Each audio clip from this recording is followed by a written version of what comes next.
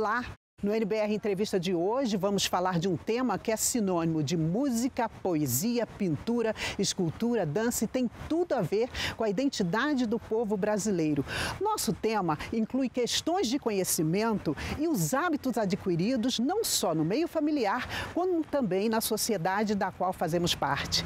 Quer saber do que eu estou falando? Confira no assunto do dia.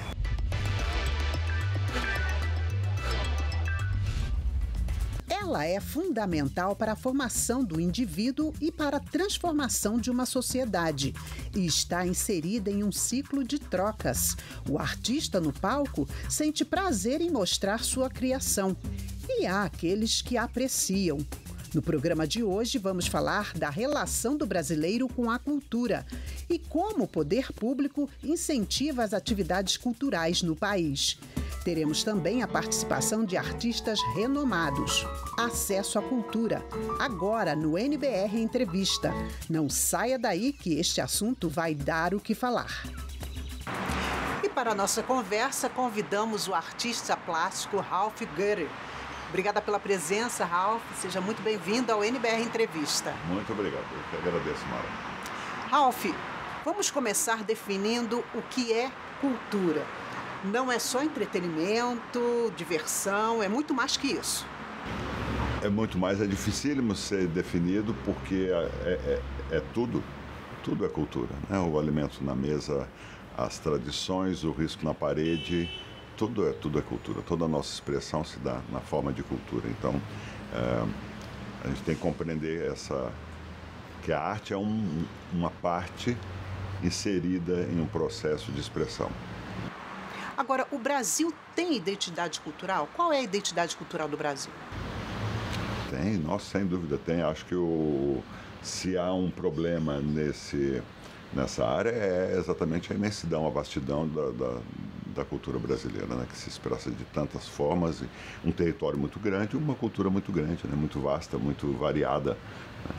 Né. E na sua opinião, qual seria essa identidade? Teria uma coisa definida? Acho que ela tem por definição o, um, uma eterna carência de se encontrar. Né? Acho que ela também se define pela, pela contínua inserção, a urgência por inserir seus, seus componentes. Né? Nós ainda temos uma dívida grande de, é, com relação à cultura indígena, por exemplo, que é parte nossa, intrínseca e, e, e para a qual no, no, nós tantas vezes viramos as costas. Né? Da mesma forma, a, a cultura negra, a cultura afro, ela também ainda é muito pouco é, assumida, inserida, reconhecida. Né? E, ou, ou, a cultura de gênero, ou as, as, tantas variadas, porque são sempre muitas. Né? Então, uma cultura brasileira é uma cultura da variedade, uma cultura extremamente rica, expressiva, que eu adoro acompanhar e avistar, porque avisto em, to em todos os cantos. Né? visto em todo. Gosto especialmente na, naquilo que ela expressa de mais singelo, de mais simples, da, da, da dona de casa, do, do lavrador, do, do engraxate, do, do menino que faz um grafite esquisito na parede, essa expressão mais, mais singela. Né? Agora, o brasileiro, de uma forma geral, ele tem acesso e estímulo para consumir cultura? tem acesso e estímulo a consumir a própria cultura na, na, na sofreguidão da vida, não aquela cultura formal das galerias, dos museus, das instituições, das bibliotecas, a cultura do livro, por exemplo, que é fundamental, é muito pouco difundida e, e, e, e assimilada e cultuada e, vivenciada no Brasil. Né? Se você pegar uh, o número de brasileiros que leem um livro, por ano na vida, um livro na vida, é muito pouco, é muito pequeno. Então essa cultura que é fundamental, porque é, é, é, é a cultura que atravessa o tempo, é a, a, cultura formal, né? essa que se formaliza de tantas maneiras. Né? E, então a essa cultura o acesso ainda é muito restrito, ele ainda é muito do privilégio. A arte é uma expressão do privilégio. Não, isso não tem como escapar, né? em todas as suas formas. Mas a, a, cultura é uma expressão maior, mais ampla, mais, mais diversa, né? mais contínua, diluída no, no, no, cotidiano. O acesso à cultura pode começar desde cedo, ainda na infância. Nossa equipe foi conhecer de perto o espaço cultural do Tribunal de Contas da União, que recebe em média 2 mil visitantes por mês, a maioria de crianças e jovens estudantes. Roda aí.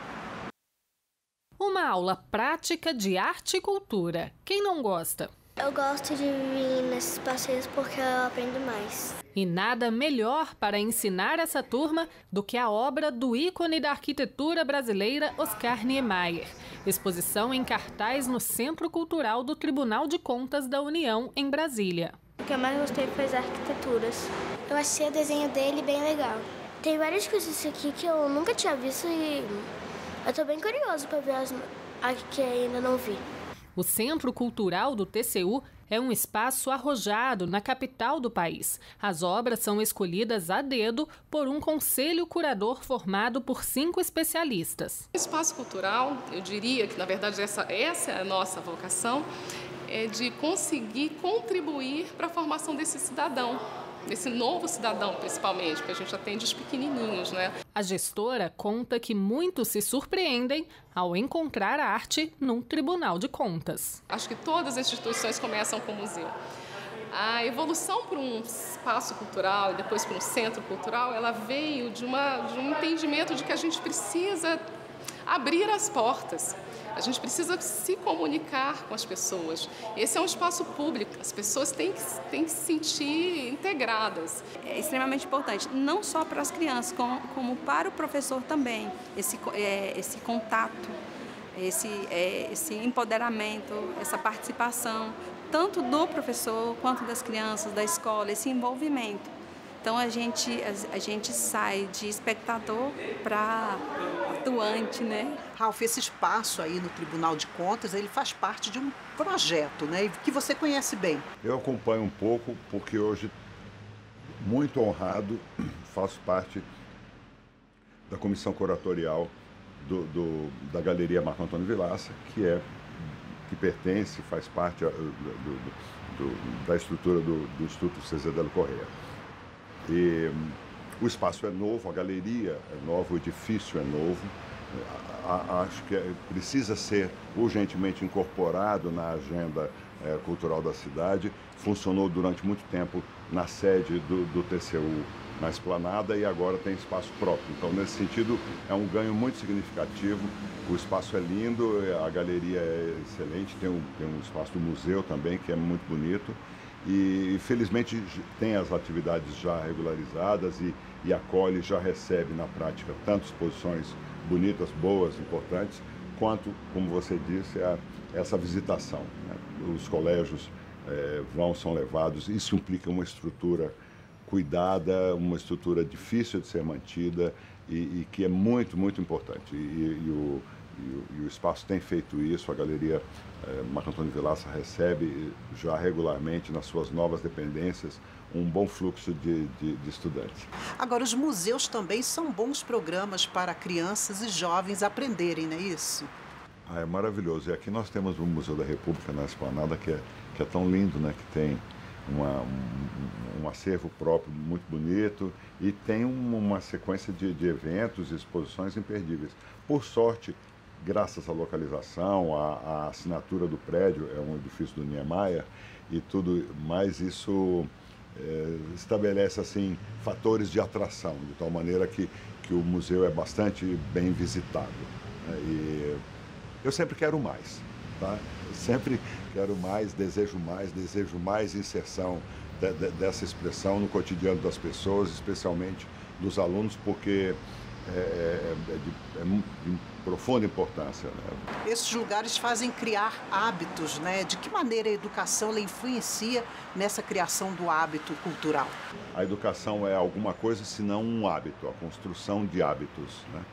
Acho que é exatamente essa é a noção de uma noção mais ampla do, do que seja uma educação. Eu, eu, eu, eu pertenço a uma geração que teve o privilégio de viver uma outra experiência. Eu cheguei em Brasília em 62 e fui experimentar o modelo proposto por Anísio Teixeira para, uma nova escola, para uma nova educação brasileira. Então eu fui viver a escola classe, a escola parque, o esquema da educação integral, eu, nós tínhamos aula de manhã e de tarde. Era uma perspectiva que, infelizmente, o, o, a, a, prática política não conseguiu é, reconhecer o sentido e, e universalizar. Mas, é, então, eu fico sempre com esse, esse pano de fundo, né? essa referência de uma prática que eu tive muito criança, eu tinha nove anos de idade, quando fui viver isso.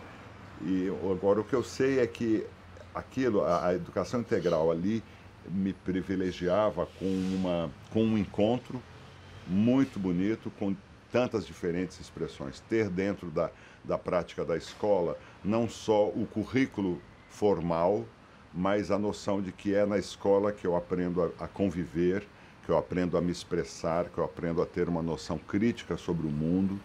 E é lá também que eu vou encontrar e, e, e conviver com livros, com filmes, com histórias, com outras expressões, com, inclusive com meios de trabalho. A escola é essencialmente o, o início de uma relação de trabalho.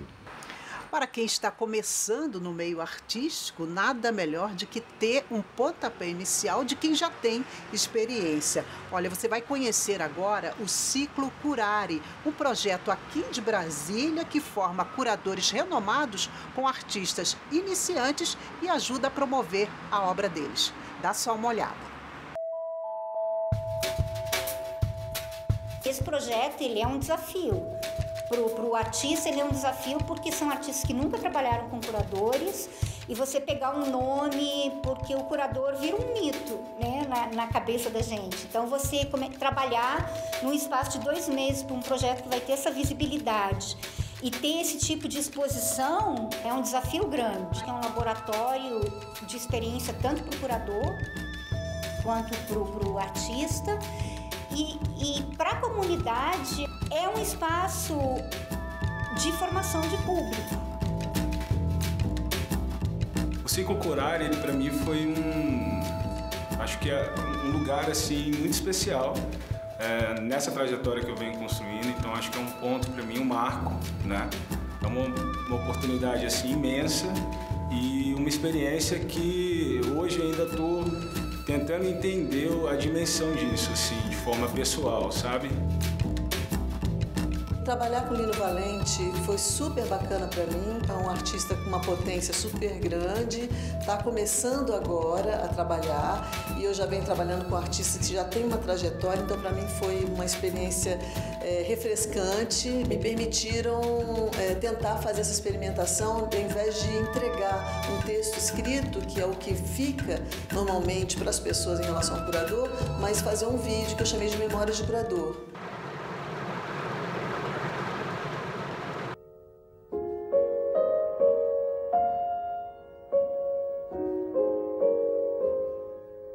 Foi todo pensado em torno da ideia da vitrine, que era uma ideia que eu já pensava há muito tempo.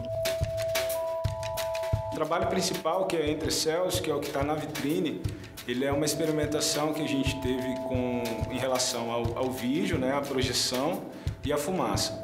Então, basicamente, ele, ele funciona como o, a fumaça, ela, ela cumpre um papel ali de talvez um alcance imaginário do que, do que a gente quer propor através do vídeo, né? É um projeto que tem que pensar no público que está passando, na própria arquitetura mínima desse espaço, uma vitrine de 1,20 por, por 2,60. Eu entendo que o público ele é essencial porque, na verdade, é, é pra, eu acho que em última instância o artista, nós atores desse meio, trabalhamos para o público sempre disse para os meus alunos que sempre me perguntaram na universidade é, se é, como é que se faz para viver como artista. Eu acho que antes de tudo tem que haver uma paixão pela história, né? Na verdade, é, não, não há solução sem paixão. Bom, então é isso aí, Ralph. Para viver a arte é preciso paixão, mas também tem que ter oportunidades, né? incentivos para isso é oportunidade de trabalho, não é? É o que todos nós queremos. Né? Essa pergunta se pode fazer na porta de, na porta de um supermercado, na rodoviária, né? A resposta é uma só. O que, o que nós queremos é oportunidade de trabalho. E o artista, da mesma forma, quer, deseja uma oportunidade de trabalho. Você nos mostrou as imagens da, do ciclo Curare que acontece na Decorators e é uma, é uma situação incrível, porque é uma raríssima galeria dedicada à, à experiência da curadoria. E isso é muito oportuno, isso é muito importante. É, é, claro, naturalmente é uma galeria de arte, o que você vai encontrar lá são obras de arte, são expressões, experiências, instalações, vídeos, pinturas, é, expressões de, de, de artistas é, locais. Mas isso é, sob uma, uma noção de curadoria. O ciclo é muito importante, ele acontece ao longo do ano, são oito ou nove eventos programados. Eu tive a chance de, de inaugurar o ciclo, ciclo desse ano, fazendo a curadoria do, do, do Gustavo Silva Amaral. Foi uma super experiência para mim. E é uma linda, pequeníssima galeria na, no comércio local da Zanorte e eu recomendo sempre a visita. Nós vamos para o intervalo agora e na volta nós vamos mostrar como as instituições públicas investem na cultura no país. Até já!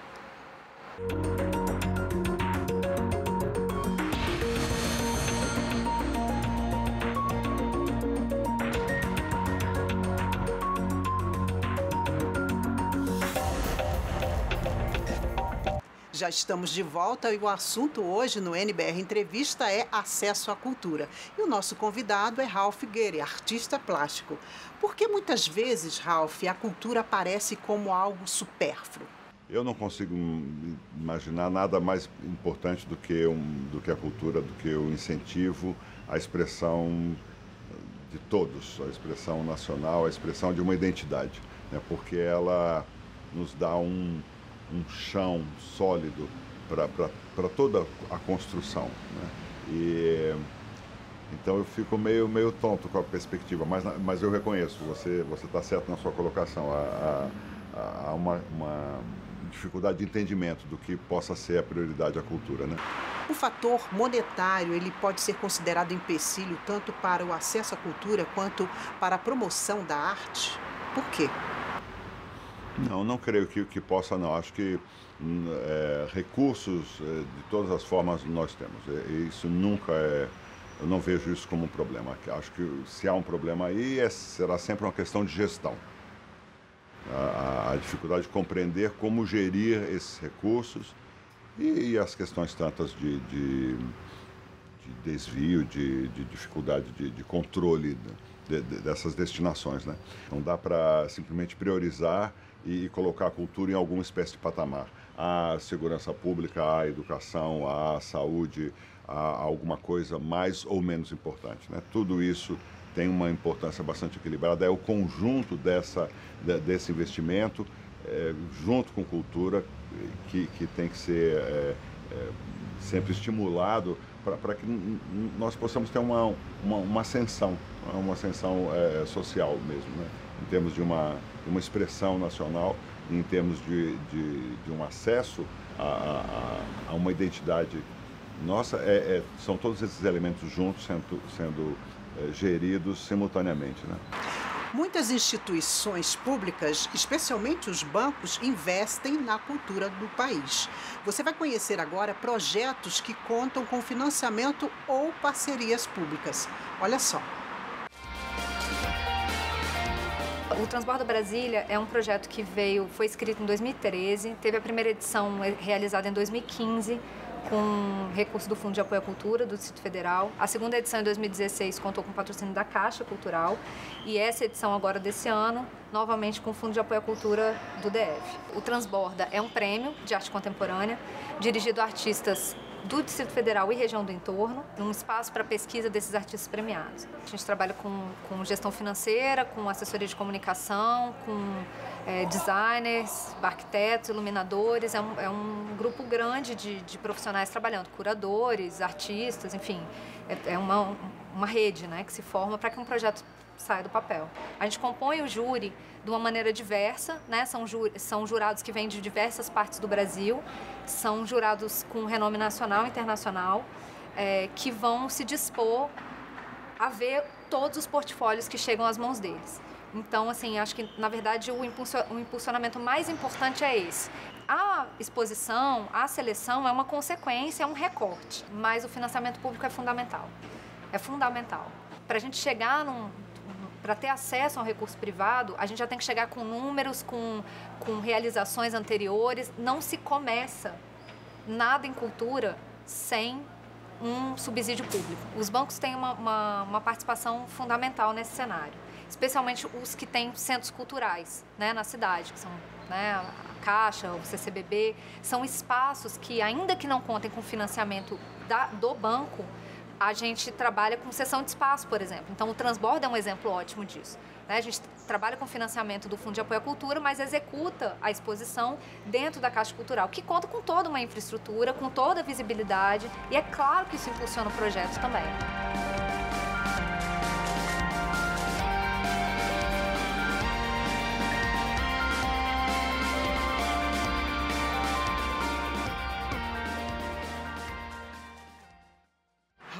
Os editais e investimentos públicos são imprescindíveis para que projetos como esses se concretizem? São, são imprescindíveis. É, é fundamental que tenha um aporte direto que dê, que dê apoio e subsídio. No caso, aqui nós temos o FAC, que é fundamental, é, é um fundo de apoio à cultura, a partir de lei distrital que destina parte do orçamento do GDF à área específica da cultura é, sem ele não consigo imaginar a, a transformação que nós conseguimos é, impor a, a, ao circuito cultural em Brasília, ao, no Distrito Federal, é impossível imaginar sem o suporte do FAC, né? e ele vem direto desse, desse aporte do, do, do GDF. E, e, a partir do gerenciamento de programas, de projetos, de propostas, de produtoras independentes, de artistas, de, de tanta gente. Né? Isso é, é, é, importantíssimo. E através da música, da literatura, das artes visuais, né, também do teatro, que as pessoas comungam sentimentos, trocam emoções, né? Isso é importante. É, e, compartilham a, a, vida, né? Porque a vida é isso, né? A vida não é, não é uma experiência fechada em mim, né? A vida não, não sou eu trancadinho no meu canto, né? A vida é exatamente o compartilhamento de uma experiência, de um ponto de vista, de uma expressão. A Lei Federal de Incentivo à Cultura, mais conhecida como Lei Rouanet, é um dos principais meios de promover a cultura no país. Nós conversamos com algumas pessoas sobre a importância desta lei. Dá só uma olhada.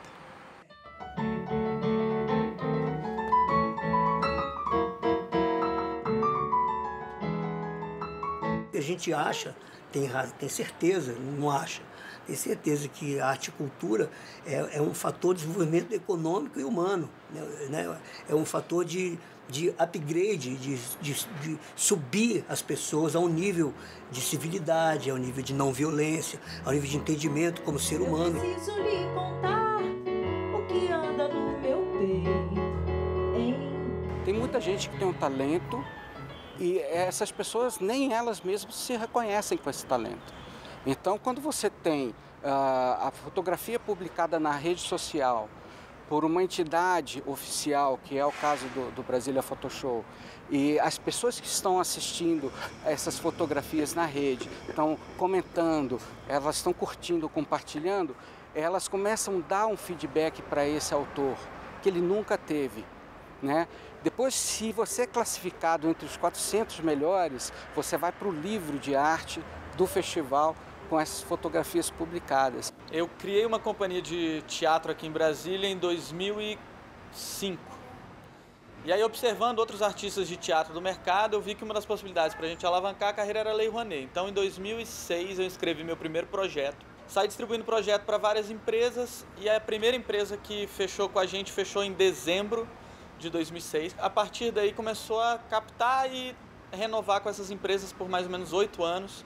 Então, a Companhia de Comédia de Quatro é Melhor viabilizou grande parte da carreira do grupo por meio da Lei Rouanet. Há um tempo atrás a gente não tinha essas ferramentas, hoje a gente tem e, e, e gente muito boa trabalhando eh, para eh, dentro dos projetos, né, dos editais, eu acho interessante. A empresa, a princípio, elaborava projetos para os artistas, agora a gente já faz prestação de contas, todo o acompanhamento da execução junto ao Ministério da Cultura e também é, já consegue atuar junto às patrocinadoras para entender qual o perfil de projeto que elas querem patrocinar e oferecer projetos sob medida, projetos da nossa cartela de clientes. A gente tem uma demanda grande de clientes no Brasil inteiro, é, atendemos virtualmente, tem muita gente que vem a Brasília só para reunir com a gente e, se não me engano, a gente está aí mais ou menos com, ultrapassou a barreira de 400 projetos já inscritos na Lei Rouanet.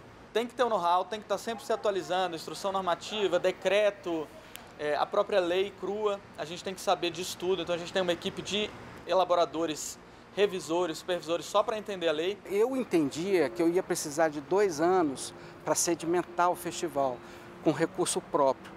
O meu recurso acabou no primeiro ano e eu tive que buscar a sociedade. O recurso da sociedade acabou no segundo ano. Aí no terceiro ano, o que, que nós vamos fazer? A gente ainda precisa de é, tempo para sedimentar.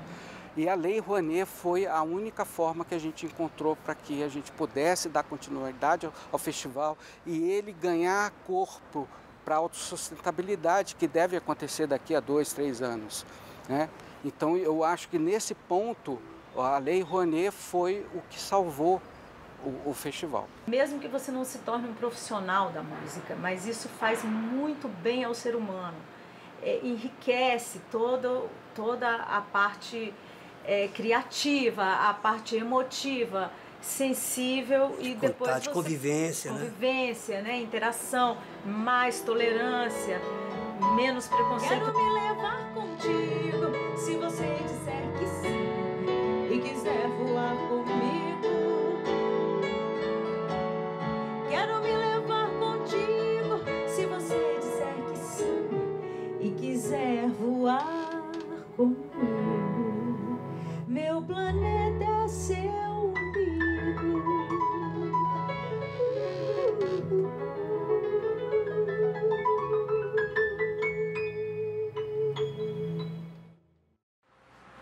Ralph, a Lei Rouanet permite aí muitas atividades de graça para o público, principalmente o público de baixa renda. É, também. A lei, a, a lei é uma, um, é uma excelente, um excelente é, projeto com uma longa história, é bastante criticada, é, isso é necessário também, é importante, você não pode imaginar uma implementação de uma lei que destina é, recursos oriundos de uma renúncia fiscal, não é? porque basicamente é isso, a Lei Rouanet é essa destinação, né? são sempre recursos que deixam de ser é, pagos na forma de tributos e são destinados pelas empresas como investimento direto à cultura. Você não pode imaginar que isso fique estacionado em um modelo único. Constantemente tem que ser revisto, é, reconversado, reimaginado, redirecionado. É, como, como uma lei de incentivo à cultura, ela é genérica, ela, ela atende ao, aos mais diferentes campos e áreas de, de atuação. Né? Eu sou artista plástico, então eu sempre quero puxar a brasa para a minha sardinha, não é? é reconhecendo que é importante a, a, a importância da, das promoções na área de artes plásticas. Mas a Lei Rouanet tem esse mérito enorme de, de subsidiar tantas, tantas atividades. Independente da, da, das críticas que sejam feitas, há de se reconhecer que é, foi através da Lei Rouanet que se organizou, se formalizou o mercado de trabalho nas artes plásticas no, no Brasil e da mesma forma em outros tantos segmentos, né? porque é através da lei que, que se é, normatizaram a, a tantas funções, se regularizaram é, essas relações e inclusive se definiram limites e tetos para essas remunerações. Então, hoje nós temos uma, um, um, fato concreto: você não, não vai mais para a universidade se formar apenas artista plástico, você vai é, encontrar uma área de trabalho que é bastante ampla. Para que eu faça a minha exposição de artes plásticas, para que eu mostre a minha pintura, eu preciso de um curador, alguém que escreva um texto, alguém que faça a montagem da minha exposição, alguém que faça a fotografia, que tenha, faça um projeto gráfico, que pense um plano de divulgação, que organize um projeto educativo. Olhe quantas atividades estão aí.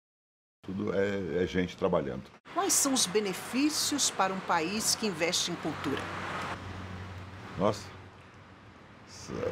é o, é o benefício de existir, é o benefício de, de, de, ser, de poder ser identificado, é o benefício de, de identificar-se é como, como como nação, como expressão, como idioma, como de, de, todas as formas, de todas as formas. Né?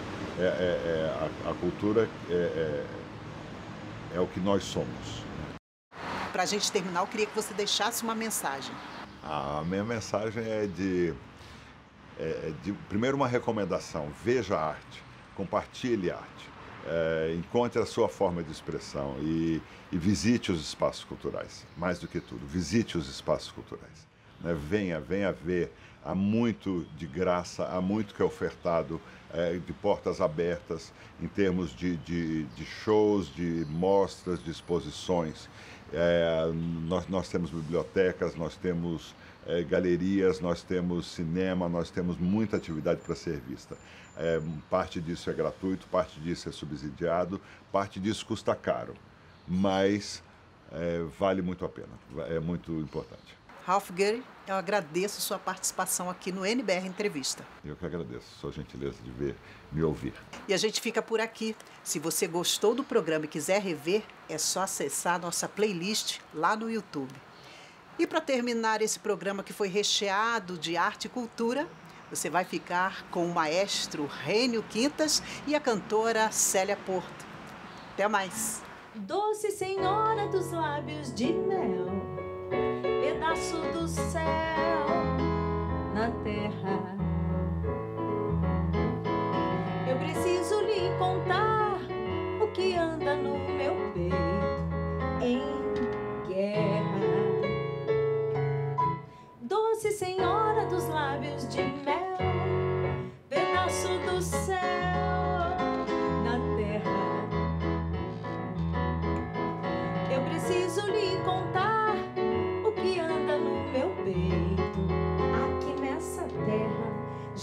Tempo que pousei com meu disco voador lá na Serra do Amor, que é bela.